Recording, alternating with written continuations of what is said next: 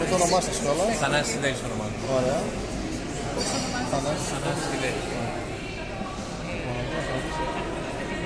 Πρέπει να μας πείτε λίγο πόσο δύσκολη είναι η καθημερινότητά σας και αυτά τα προβλήματα που αντιμετωπίζατε παλιά με την εκπαίδευση, πώς τα ξεπεράσατε.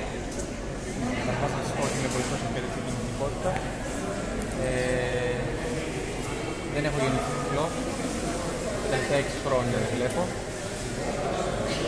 Τα προβλήματα στην Ελλάδα θα θέλατε να σας πω ζωγικά. Όχι, ναι, σε εσάς, η καθημερινότητά σας.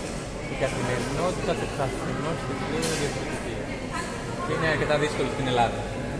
Το πώς εκπαιδευόμαστε ε, με το λευκό μπαστούνι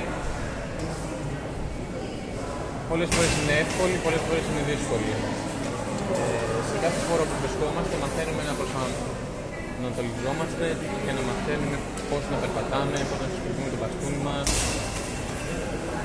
πώς να αντιμετωπίσουμε όλη την κατάσταση σε μια πόλη η οποία είναι φτιαγμένη για εθνελείς και όχι για ανάπηροι.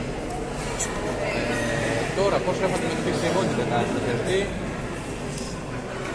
πολύ δύσκολα, αλλά το θέμα είναι ότι είμαι σήμερα εδώ πέρα, έχω το σκύλο οδηγό μου, ε, έχω το λευκό μπαστούνι στα χέρια μου, ξέρω να το λειτουργήσω και μπορώ να περπατάω σε καινούργιες διαδρομές, πάντα όμως με τη βοήθεια της εκπαιδεύτρια κινητικότητάς μου που σε μια καινούργια διαδρομή